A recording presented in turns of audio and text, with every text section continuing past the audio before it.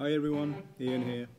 On the 17th of September, I shall be in Silea near Treviso with Vasco Rossi's guitarist Stef Burns, supported by the wonderful Inrok Band. Please be there and enjoy the evening with us. Okay.